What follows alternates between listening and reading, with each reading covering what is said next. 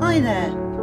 Today we're going to be doing this simple seascape, quite quick and easy to do, just give you a bit of confidence. So do sky, sea and a foreground and also there's a little instruction sheet for it. And it's so easy you don't even need a cheat, or trace down sheet. Let's get going. Okay, so we're just going to um, draw out the rough idea of this um, where the sea is, where the cliffs are, and where the curve of the headland is. So you don't need a cheat sheet for this. So whenever you're doing a landscape, try and remember the third rule. So we're going to mark down here about a third of the way down is where the horizon line is going to be. So I, what I tend to do is, is turn a piece of paper upside down, line it up with the edge of a um, my watercolour paper and just draw a faint line across there for the horizon. Oops, just wobbled on that. That gives me the idea of where the horizon. That's about a third of the way down there.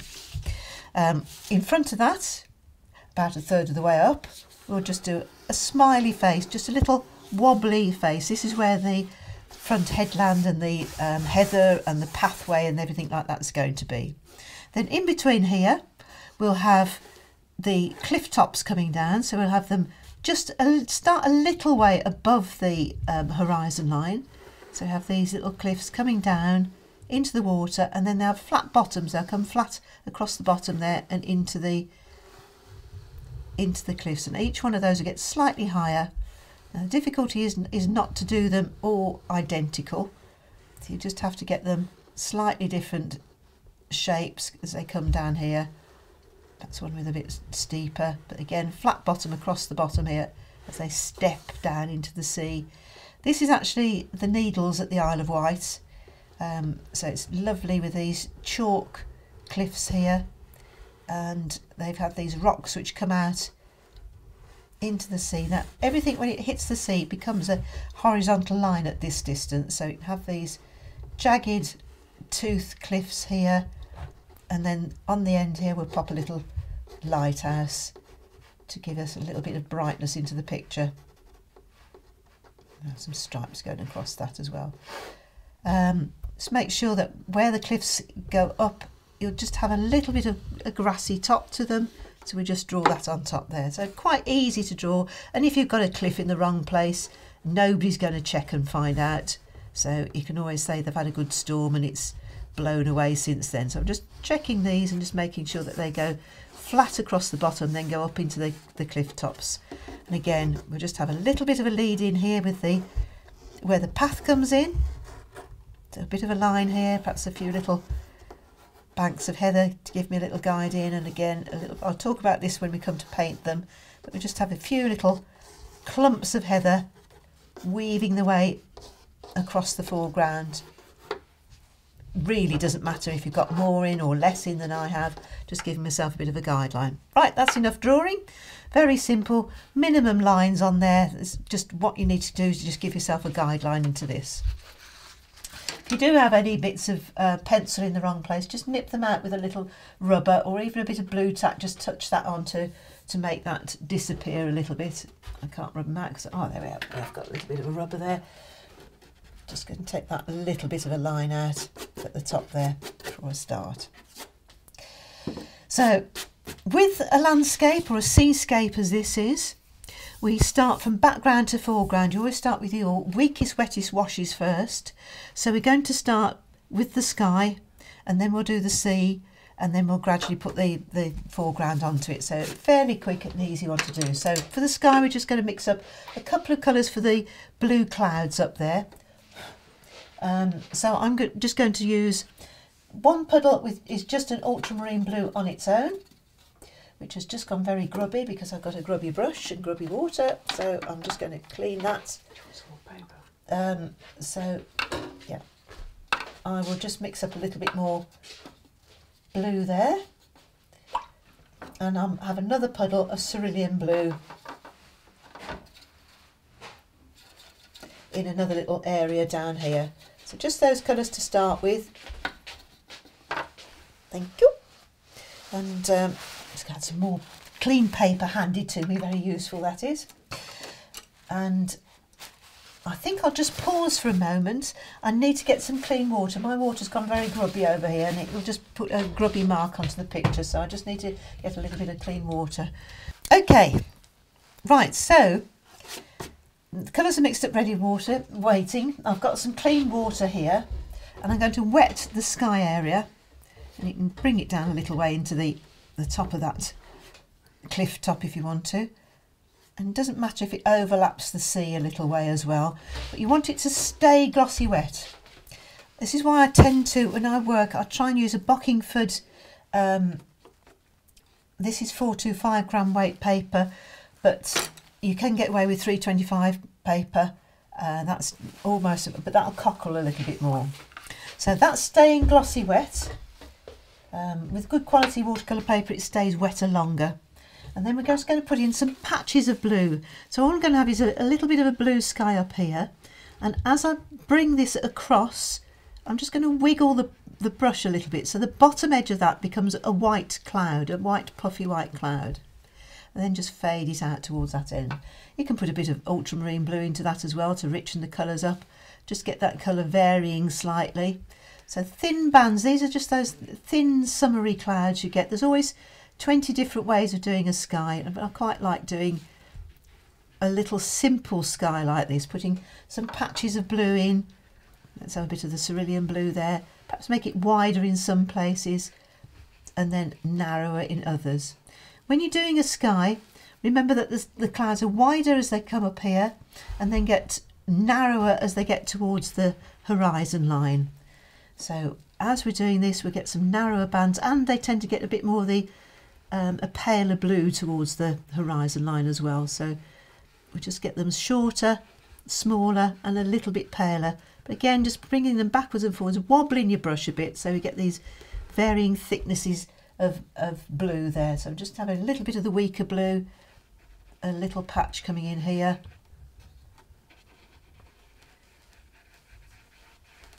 Backwards and forwards, just giving me, oh, that's a bit too strong. Let's just take that out, just clean my brush. And just put a little bit of water on with that as well. And just thin little bits. So not a, not a straight line. I'm not painting lots and lots of straight lines. I'm sort of wobbling my brush as it goes to give me this varied little look for the, the clouds coming into the sky there. And down into the horizon. You can leave it lighter at the bottom here if you want to. It's always lighter at the bottom than it is higher up. And that's it for the sky. You really don't need to do any more to it than that. It's just um, a bit of colour up there.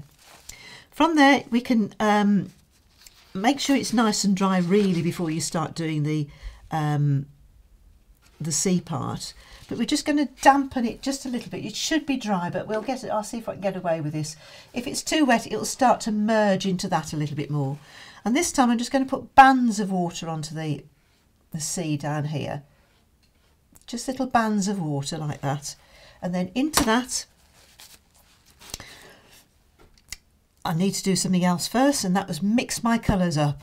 And with watercolour painting, make sure you always mix your colours up before you start wetting the paper. So I've just committed the cardinal sin. So with my colours that I'm going to mix up for the for the sea area, we're going to use the same colours that are in the sky. So that's the ultramarine blue, and some of the cerulean blue, which I've got mixed up here ready and waiting. We probably want to put a little bit of a purply colour in there as well, just to give some darker bands of colour. So ultramarine blue and a touch of alizarin crimson. Make it a little bit darker, stronger bluey purple. Um, and you can put in a little bit of the um, cerulean blue and perhaps a touch of yellow to give me a little bit of a greeny colour. I'll find another little hole to put that in just a little bit of, just a sort of um, turquoisey colour because you get this beautiful colouring around the sea here with all these different shades of blues and greens and what have you. Really you can make all sorts of different colours up with that. And I might just get a bit of the ultramarine blue and a touch of burnt umber as well to put a little bit of darker colouring round by the cliffs as well in a moment. So that's the colours are there mixed up, ready and waiting. This has now gone dry. At least my sky is nice and dry now while I was um, doing that. Um, so now we're going to put some as I say, some bands of water and just a few horizontal bands of water. So when it hits the water, it'll blur a bit, but if it um, hits a dry bit, it doesn't matter. Make sure they go horizontally uh, across the paper. We're going to start at the back here just with some weaker ultramarine blue. So just go across the back here. That's a grubby brush. Just clean my brush into the blue colour. Just with a nice little band of blue. This is where you can keep that nice little straight line. If you wobble on this point or it blurs up a little bit, later date you might have to stick a little island out there, even if there isn't one. You can put a little island on, like that bit there. We can just dry that because it's still a little bit damp on that spot, but it'll be fine for that. Just keep it nice and pale for the background. Just keeping those little bands coming across. Perhaps we'll swap to a little bit of weak purply colour. Just give it a band or two. Leave some bits to go back to being white. Don't worry about it if it overlaps the cliffs just in some places. Whenever you do one side of a lighthouse or one side of a cliff, make sure it comes out the other. And this should give you that nice soft look to the sea here, a little bit more back into the ultramarine blue. Bring it up so it comes underneath here, in between those cliffs. A little way we can do something more with that. See if it's onto dry paper, it drags a little bit, but you'll get these little bits of broken, almost like little waves coming in. Now as we come forward here, we start to change the colours a bit. We get the brighter colours, the cerulean blue coming in So we can have a play with those beautiful colours you get around the sea, around the coast of Britain here, when it's not raining, which is very few and far between, but then some more blues. Just make sure that as you go across here, you're doing it horizontal, that's that way. That's not putting little waves in, it's just keeping it going straight across here. Perhaps a band or two of the greeny colour back to the cerulean blue just across the front here into this foreground a little way. So everything I'm putting in here, I'm doing it with the horizontal line, just bringing it across down to the bottom here. And again, now up to these cliffs, just move my arm around so you can see what's going on. Just bringing it across here into this bit. Now where it hits the cliffs, I want this a little bit more dark just around here. So I'm just going to be a little bit of the purpley colour, a few dashes of that. Um, a little bit more of purple where it's going into, where it's hitting underneath the cliffs here. We can always put a little bit more on in a little while, but it's nice to get some in now so it blurs a bit at this stage. Keep these dashes horizontal.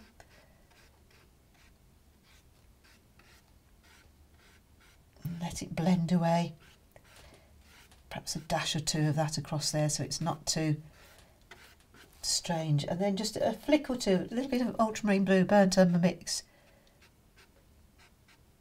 into there as well so it gives you the whoops didn't mean to do that let's just blend it in with a little bit of purple as long as you put things in horizontally it will look all right the little ripple coming across there. So I'll probably leave the sky as, oh, the sea and the sky like that. That's half my picture already painted.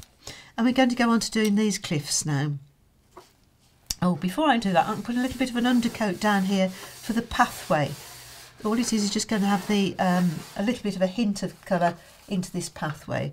So for that, the pathway, I'll just have a little bit of um, weak burnt umber very weak burnt umber, the dark brown colour, and a bit of weak burnt umber and ultramarine blue, just to give it a bit of variation in there.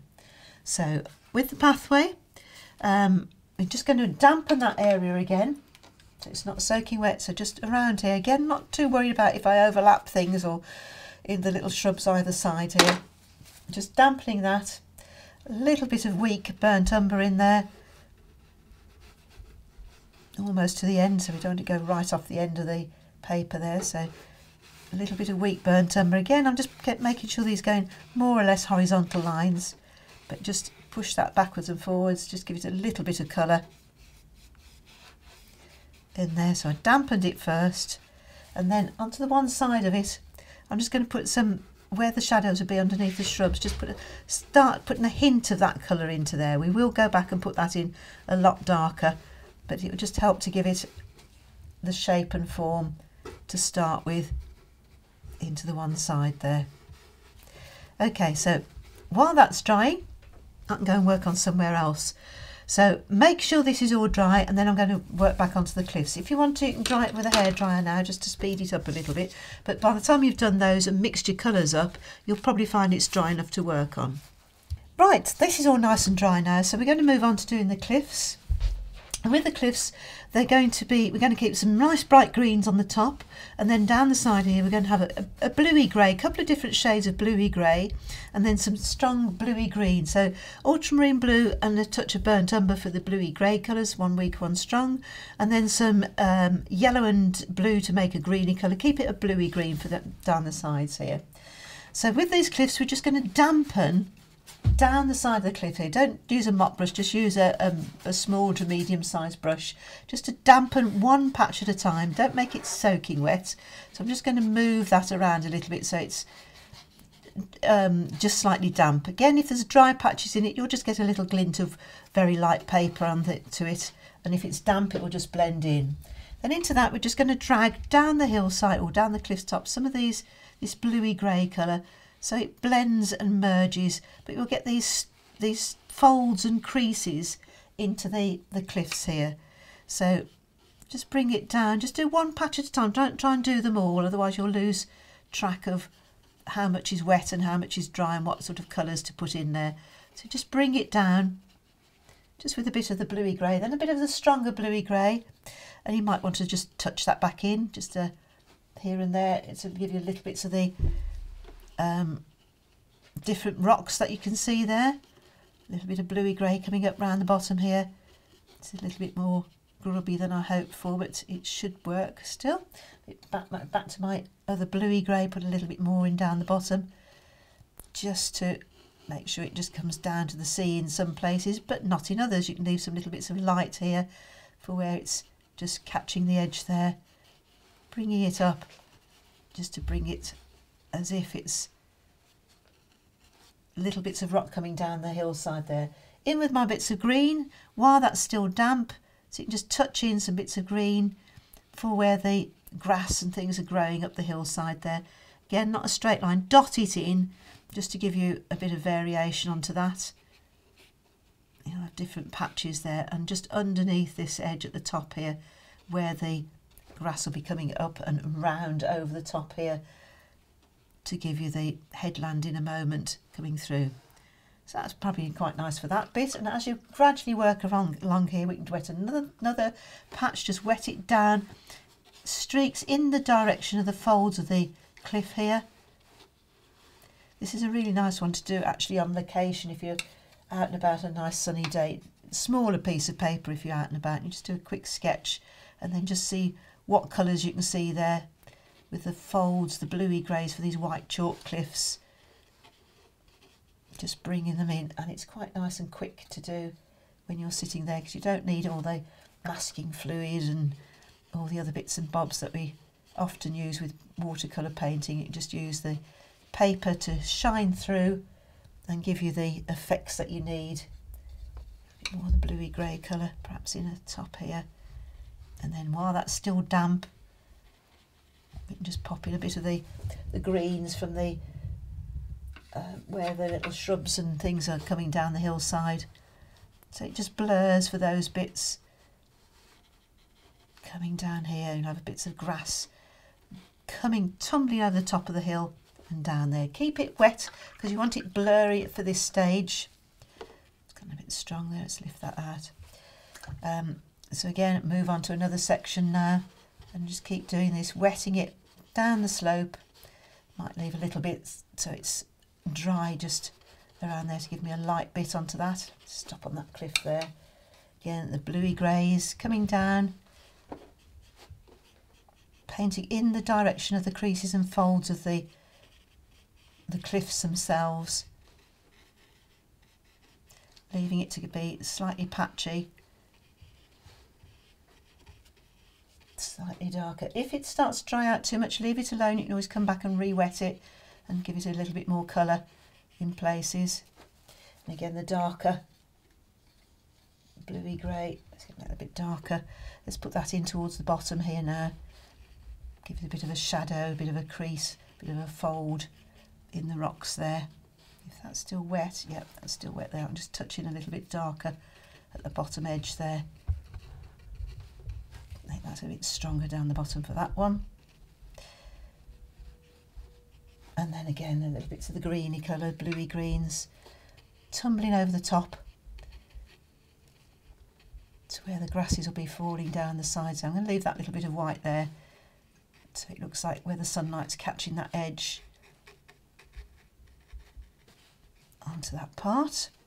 Last little bits of cliff. Again, these little bits down here, just dampen them. Try not to make them too stripy, you just want to get them so they're varying a little bit in angle, so you've got a little bit of a a wobble here and there, but you'll get a patch of dark, a patch of light. These last little bits here onto the dry paper because it's too small to wet it first. Again, just a touch or two of the darker bluey grey, just giving it its shape. Little bit darker, a bit more blue into that. Make it stronger and darker, just where it overlaps that edge there. It'll be almost a silhouette on that edge to give you these little rocks coming out. Not so much greenery on that, just a touch of green on the top edge. Last little bit of rocks here where they've got the jagged bits here. I probably won't wet this because it's too small and fiddly to wet it first, so I'll just do a little bit of the bluey grey straight onto the dry paper here adding these last little rocks here. These change shape quite often depends on how stormy it's been so it doesn't really matter if you got them slightly different. A little bit of dark around the bottom edge. It hits the water some of these are just a little bit darker on that bottom edge there a dash or two of dark into those. Okay, so with the lighthouse, we can um, just run a little bit of grey down the one edge of it. Just a weak bit of grey just to give it a bit of shaping. Nice bright cadmium red, make sure that's dry first, but I'm just going to brave it with a bit of red going straight across there. It's only a little touch on the end there. into that dry paper there.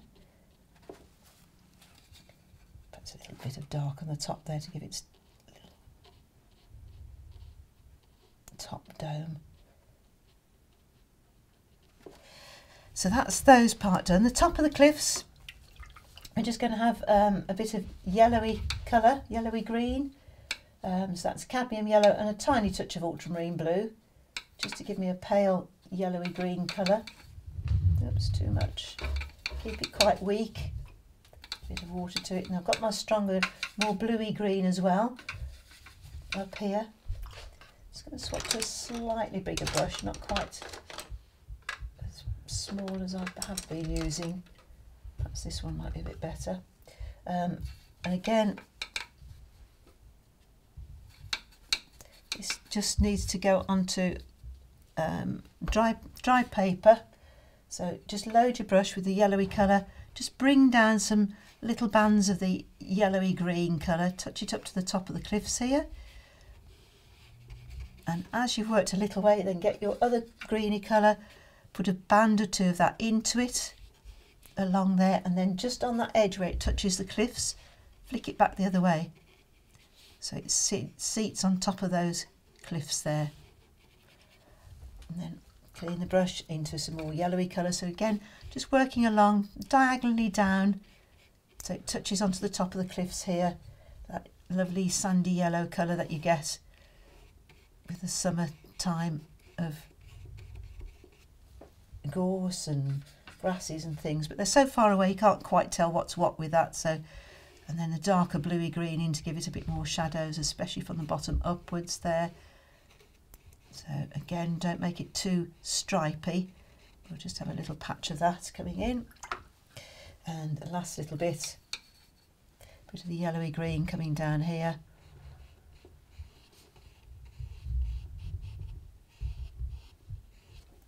And a bit of the bluey green coming back up into the the pale green there. So they blend and just sit there. So that's all your cliff tops done. So now we just need to look at the foreground. So we need to bring up some of these. We're just do, going to do some shrubs down here and some um, heather and stuff in the foreground here. So a couple of different ways of doing that. We need to put some base coats of green on first. So biggish brush um, we're just going to put on a little bit of the, the grassy colour for the foreground onto dry paper. Um, just put an undercoat into the, where the where the yellowy greens are going to go. And I'm just going to leave some of these at the moment. This is just like an undercoat of, of green for the bits in between the shrubs here. And I'm just going to leave these little patches at the front where the head, heather's going to go. Take a bit of that out. It's just straight onto dry paper for those. You might put a bit more in there and then perhaps a, another patch over this side. Again, that's the yellowy green colour, ultramarine blue and cadmium yellow mix.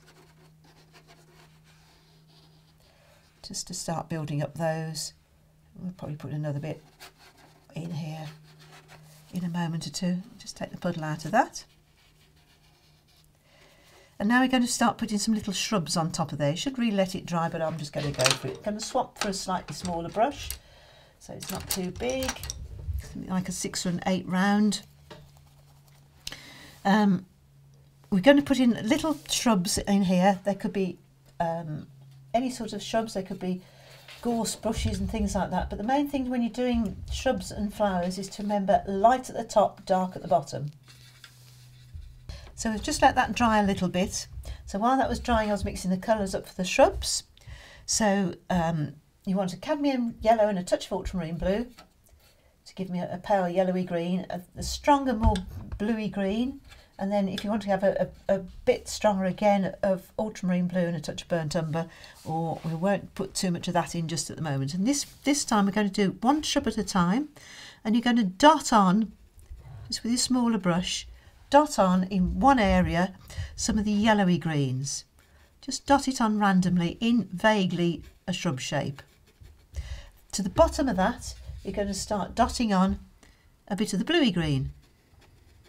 So again, just leave some of the yellowy green at the top, but towards the bottom of that, you'll dot on a bit of the bluey green colour, keeping it varied at the bottom so it's not a flat line at the bottom. That's it, one shrub done. We'll move on to another shrub. So yellowy green at the top. I'm going to leave some of these bits of pale green to show through, so just dotting on randomly some of the yellowy green, not quite into that other shrub at the top there, but almost, and just let it um, sit there. And then again, just dotting on yellowy greens. This is just a little group of shrubs here. Just do a few at a time. Then the bluey green in towards the bottom. Let it dot up into that colour you've already put there. And then randomly at the bottom so it's not a straight line just let it dot back up again and this should be darker at the bottom. This is a bluey green ones towards the bottom here, perhaps to one side, the right hand side as well to give it a bit of shape. And that's how we can put our little shrubs in quite quickly like that. Do a couple more of those. Yellowy green at the top. Just do as far as you can go before it starts to dry out. Down to the top of this other little shrub. We're going to put heather into these little ones in a moment. So yellowy greens at the top there. Put a bit over this side as well. Bluey greens in towards the bottom. Perhaps in some places, if I've gone over the sea, I want to make it a little bit darker. In some places there. Towards the bottom, bluey green. A bit more blue into that. To give it that bit of variation. Just dotting it in, making it vary. Lighter at the top, darker at the bottom. Just keep chanting that to yourself lighter at the top darker at the bottom and you'll keep getting nice little shrub shapes. Same on this side, we just put a couple over here. Yellowy greens at the top. I'm going to go, it's a bit of a brighter yellowy green so it looks a bit more like a gorse bush. Just break that edge up where it goes over the sea there. Bring it down. Leave some of this original yellowy green to show through. Then I'll get the ultramarine blue and a touch of cadmium yellow. Stronger, more bluey green into it in some places, but keep it darker towards the bottom. Perhaps not quite that dark. That's better. And just dot it in so it blurs in some places, but not in others. And again, keeping it quite strong and dark towards the bottom there. Now I'll do another little bank of those. A little bit of yellowy greens at the top. Let's just bring that one in front of that one. Just dot it on yellowy greens, leaving a little gap in between the two shrubs there. And a bit of dark bluey green towards the bottom.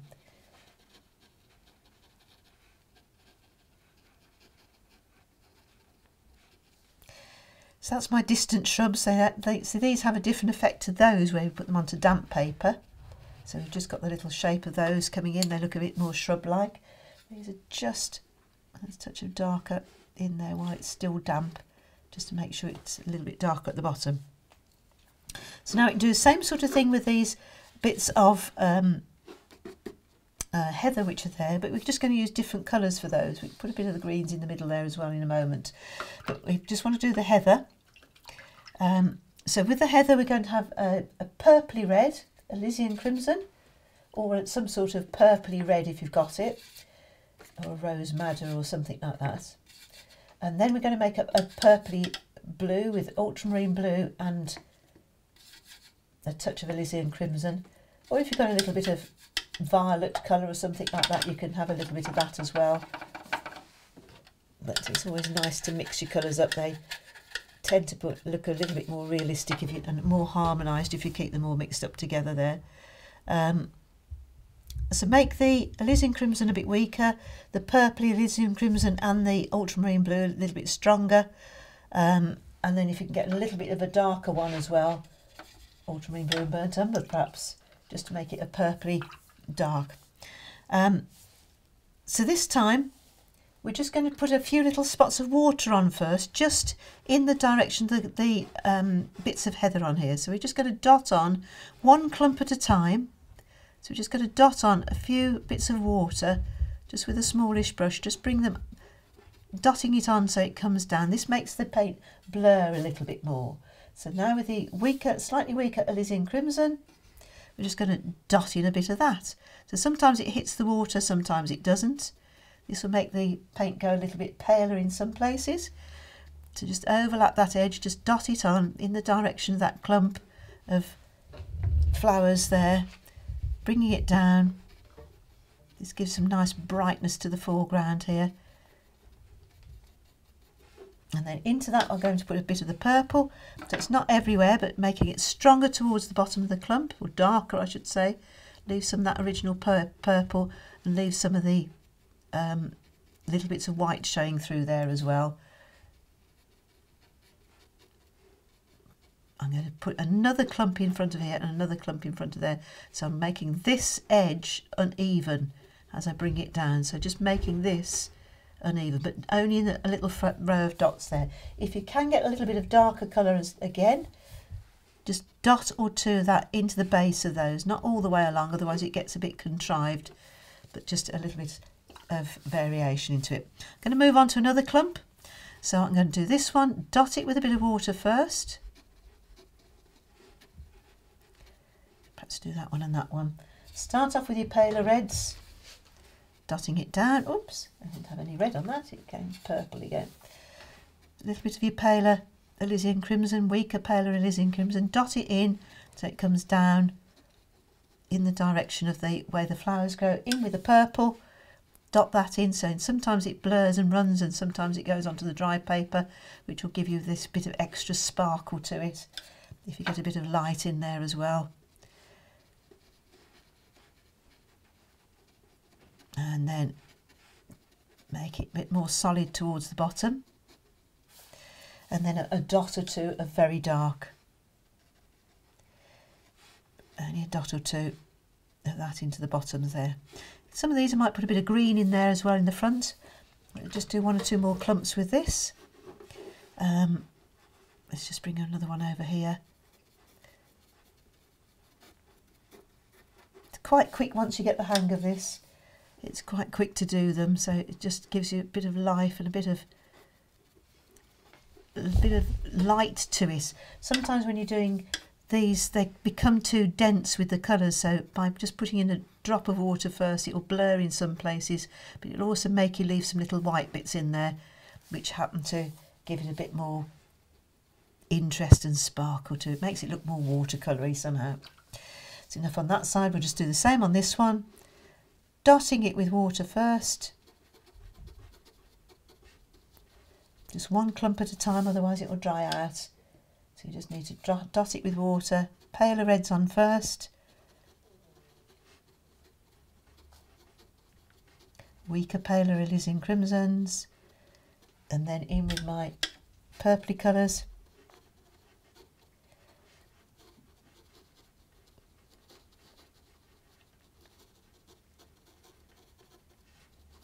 and then a bit of dark in there as well just in a couple of little places just to give it a bit more depth same with this side now dotting it with water. Well I'll just finish these little bits on here. If you want to just join me in a minute for the last few touches I'll just carry on doing these dotty bits and you can catch up with me in a moment.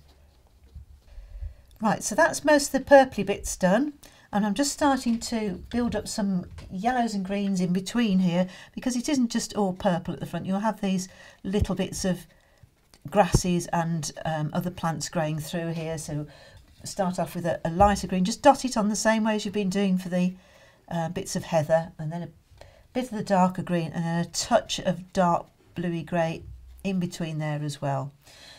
So just a little bit over this side.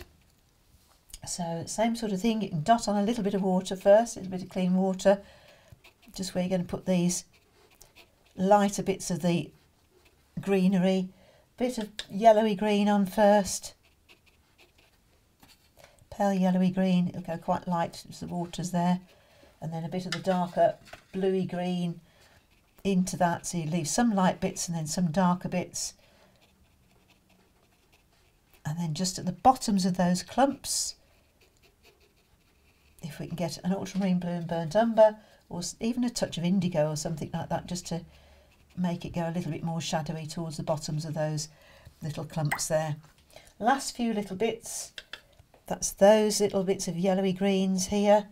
I haven't bothered to put a bit of water on, I should have put a little bit of water on onto there, or just a bit of pale yellowy greens to start with, and then some more bluey green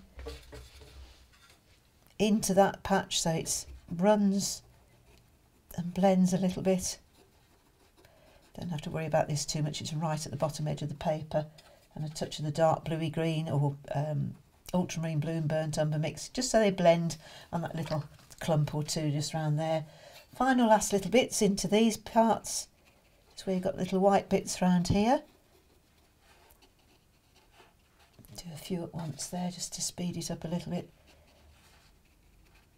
I'm weaving this in between the clumps of the heather, just as it would be in nature that you'd see some little areas with purple and then some little bits of the yellows and greens and things around there and a bit of dark towards the bottom of each little clump there. I'll just put a tiny bit over this way and then all we've got to do is add a few little shadows. the dark green there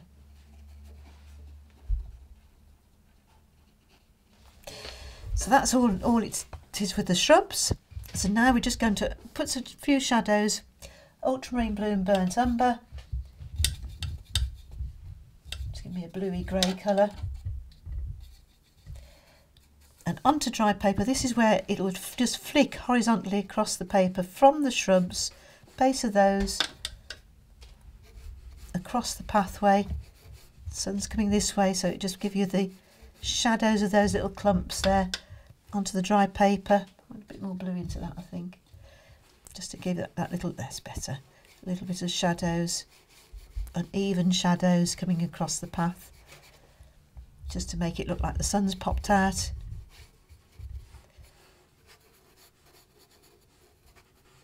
And again, now these, these on this side don't come across the path, they'll just tuck back in underneath those little shrubs there. Not much more on that side, a bit under that one. And you might get just a little bit of a shadow under some of those, keep that fairly weak. Just again to seat those down a little bit there. If you wanted to little flick, put a bit of gravel in, a bit of browns and a bit of the shadow colour, or dot on a few little stones, just to give you a little bit of interest into the the foreground. And that's it. Let me just put them out round and see what that looks like as a little finished painting. I think we'll have that little green one on there. And there we have it. Simple little seascape